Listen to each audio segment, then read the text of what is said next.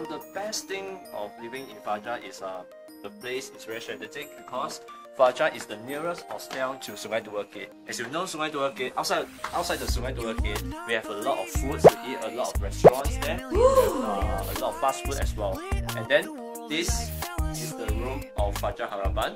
Okay. Yeah, this is the table, and then this is the extra table uh, for us to put our stuff. Yeah. Uh, this is the cupboard. Yeah, this is the cupboard, although it's a bit old, but it's still useful. Then what is the bad thing about living at Fajar here? Uh, there are a lot of problems. And the dirt, uh, and the toilets are it's not as clean as other other hostel lah. This is the pantry room, and we have machines here, one uh, Coway, what we call this uh, Coway uh, water filter here. Ah, this one uh, three but uh, one time, one time. So it's old note or new note? Uh, both also can use newness or oldness also can use. Maybe we just hang our clothes here.